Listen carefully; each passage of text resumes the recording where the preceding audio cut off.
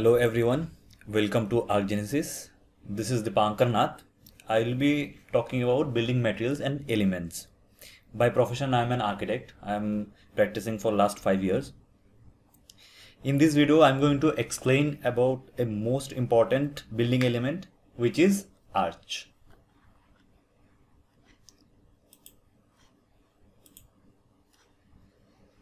So, in brief, in this video, I I'm going to explain the definition of arches, history of arches, and elements of arches, and finally how do arches works.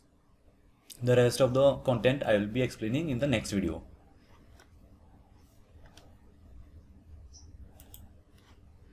So what is arches? The arch is a curved structure sustaining superiorly, closing an opening or a hole, so all its parts are compressed and none of them occur extensions. This pressure are transmitted to the support which holds the arc ends. So let's say if I take a bamboo stick and hold it from both ends then press it like this it will take this kind of curvilinear shape now this is an arch. To keep it stable, we'll put one support here and one support here. This is the ground. So now this is an arch, a complete arch. In case of building, what we do is we make the foundation first. These are foundations then we make the masonry brick masonry or stone masonry as a support of arch. Then we put small blocks of stones or small blocks of bricks or woods blocks can be used as well So now this is an complete arch. What is happening is the main pressure is coming from here and it is dividing into two parts. The whole force is going through these piers which are the supports of this entire arch and it is transmitted to the ground. In architectural terminology we will say to the foundation. So now this arch is mostly stable. So the arch is a way of making roof or a doorway or a window without using any heavy beams. जिसमें आप small stones use कर सकते हो small BRICS use कर सकते हो clay BRICS use कर सकते हो या small block of woods use कर सकते हो which is much more cheaper and easier to handle as well आप राइट साइड में देख सकते हो as an example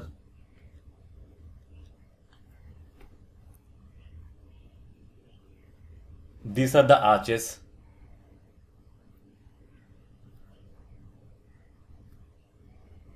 which is supported these are the supports and there's one more layer of arches and these are the supports which are hinged in ground with foundation. This is a example of ancient time, ancient Roman architecture. It's called aqueduct. So Romans used this arch in full potential. This image is for Pont du Gard aqueduct, which is a Roman aqueduct cross it crosses this river called Gard River in France. It's a now it's a UNESCO heritage site. So basically, uh, Roman used it as a channel of water from a freshwater source source like lake, spring. उसके बाद ये पानी वो लोग drinking या फिर irrigation या फिर फाउंटेन्स और बाथ्स के लिए यूज़ करते थे और नीचे वाला जो इमेज है, इसमें there is a bridge with lot of arches ये भी एंशियंट रोमन आर्किटेक्चर की एक एग्जांपल है. This bridge was made to connect this castle this castle to this city centre और इसके ऊपर जो क्लैडिंग हुई है that cladding is travertine marble then arches may be synonyms with walls. But a vault may be distinguished as a continuous arch forming a roof. So now i'll show you a example of vault. This is a example of vault. You can see there are series of arches which is making a roof. This is called vault. And this image is example of barrel vault in Aranjuez in Spain next its advantages and disadvantages before telling you about the advantages of arches, I'll tell you what was the problem. This is an example of ancient Greek architecture. They made it as a temple in Acropolis. They used to use this kind of huge pieces of stone block as lintel to support the upper structure. Total height of this building is uh, around 45 feet and the span of column to column is 7 feet. Still they used to use this kind of heavy piece of stones.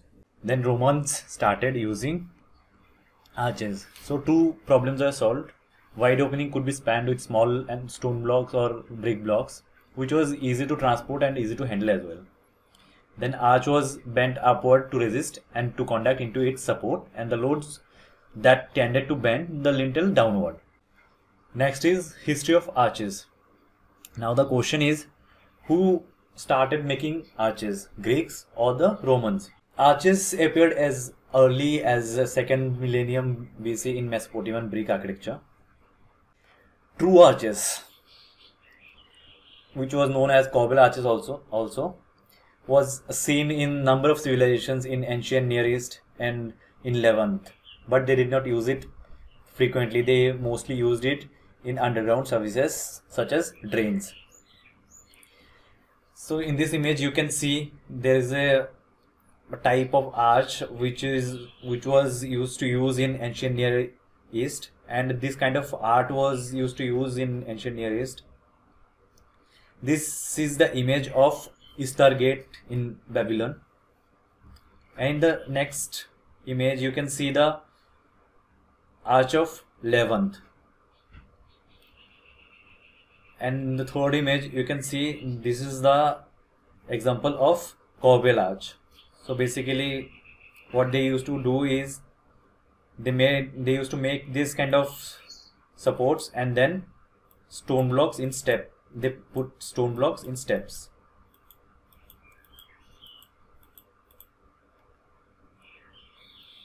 this kind of arches was made in maya civilization so Maya civilization was seen in near uh, American countries such as Colombia, Mexico, where the Spanish colonization was there. The city gate of Ashkelon. A rare exception, the bronze is arched in the city of Canaanite, this gate of Ashkelon. Modern day it's called Israel, dating at 1850 BC. This is the gate of Ashkelon. It was made in mud bricks. Then Greek Rhodes footbridge. It is an example of Voussoir arch. Rhodes footbridges is an ancient Greek arch bridge in the city of Rhodes in Greece, dating to the 4th century BC or early Hellenistic period. The modern structure represents the oldest known Greek bridge with a Voussoir arch made with porous limestone block. This is the Voussoir arch. In 2010, a robot discovered a long arched roofed passageway under the pyramid of Quetzalcoatl, which stands in the ancient city of Teotihuacan, north of the Mexico City, dated around 200 AD. Then Etruscans. Etruscans were the first civilization to use an arch. Etruscan civilizations was a civilization of ancient Italy in the area corresponding roughly to Tuscany, Umbria and Lazio. After the Romans conquered the Etruscans, they learned the arch concept from Etruscans. They refined it and were the first builders to tap its full potential of arch, vault and domes. Then they erected arch structures such as bridges, aqueducts and gates. I have shown you few of the bridges, Roman bridges and the aqueducts in earlier slides. They have also introduced the triumphal arches. This is the example of a triumphal arch. The Arch of Constantine in Rome, a monument structure in the shape of archway. This type is associated with the Roman architecture. There are a few similar arches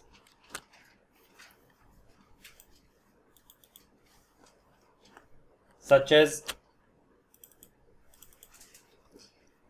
the triumphal arch in Genoa.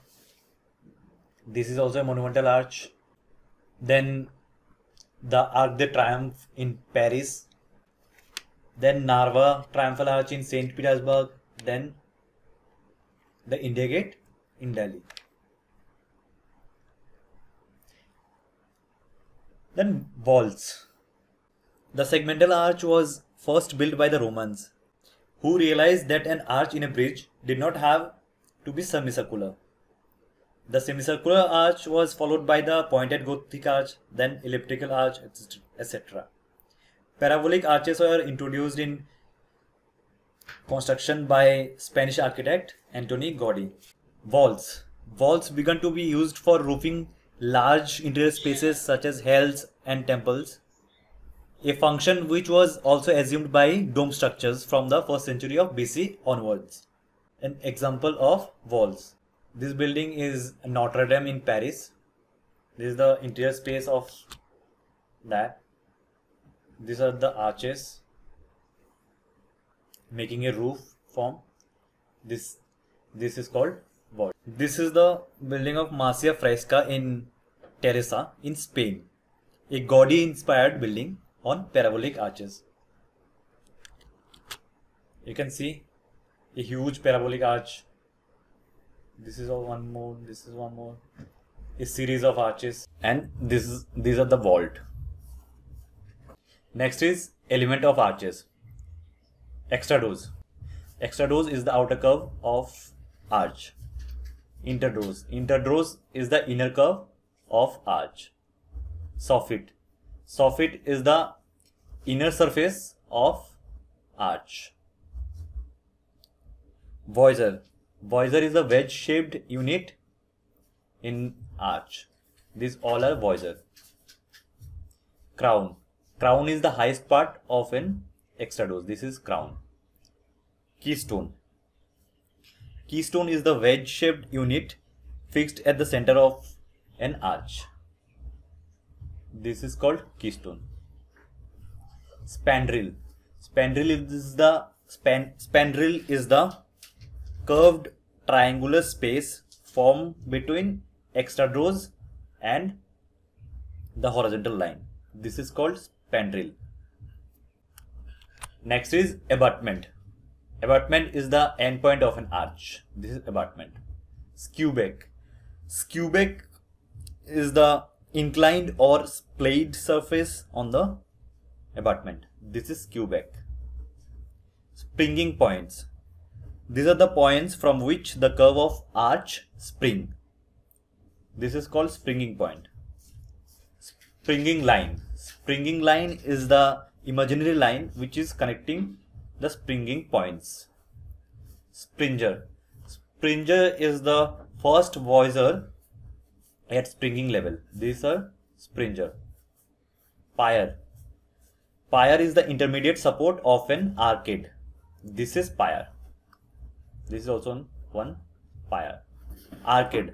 Arcade is a row of arches in continuation. Like this is an arch, then there is one more arch. So this is an arcade. Next is haunch. The lower half of the arch between the crown and the skewback. The lower half of the arch between crown and skewback. This is haunch. Ring. Ring is the this red highlighted area. It's called ring. Basically, the circular course forming an arch. Impost. Impost is the projecting course at the upper part of pier or abutment to stretch the springing line. This is called impost. Bed joint. Joints between the voussoirs which radiate from center. These are called bed joint. Center or striking point. This is the geometrical center point from where the arc forming the extrados, arc rings and intrados. This is a center point. Span. Span is the clear horizontal distance between the piers. This is called span.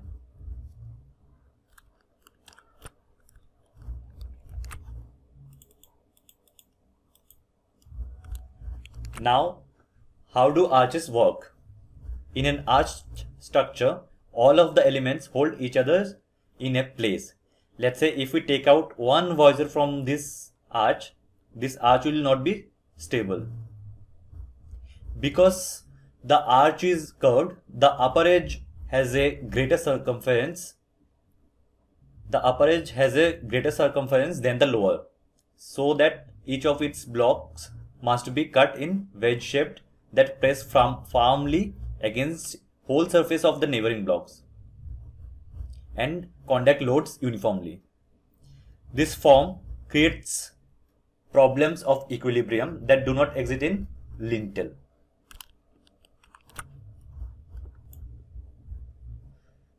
The stresses in arch tend to squeeze the blocks outward radically and loads divert these outward forces downward to exert the resultant diagonal force.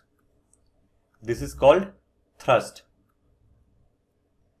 which will cause the arc to collapse if it is not properly buttressed. So basically we can say an arch is a pure compression form.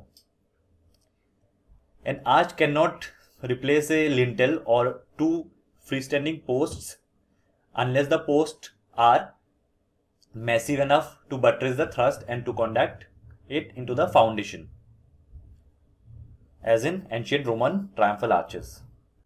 Thank you for watching the video. If you like the video, kindly press the button like, subscribe, comment and share.